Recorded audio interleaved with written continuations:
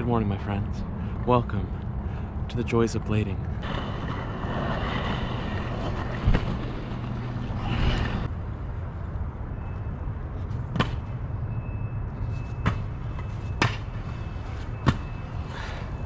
Now we're going to work on a nice, great circular circle